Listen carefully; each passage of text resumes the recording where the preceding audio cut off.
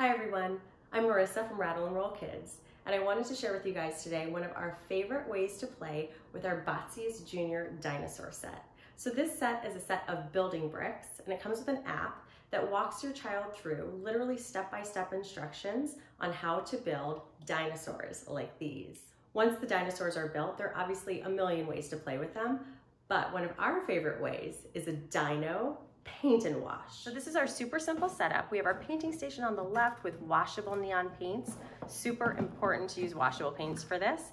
And then on the right, we have our washing station. So I put some water and some soap in a blender to make it super frothy and also laid out a squeeze bottle, a scrubber, and a sponge for the boys to be able to wash their dinosaurs with. Is that dinosaur getting clean or what? Yeah. Yeah.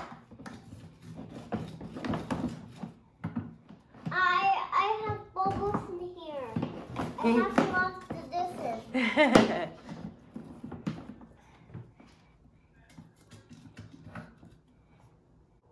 One of the things I love about this activity is that it gets a reluctant drawer or writer to really get excited about painting.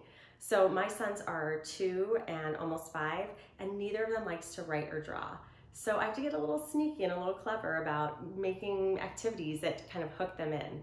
This one definitely does because it feels a little naughty to be painting on your toys. And I think that is the total appeal. The other thing I love about this activity is that it encourages bimanual coordination. Bimanual means two hands. So your kiddo holds the toy with one hand and paints with the other.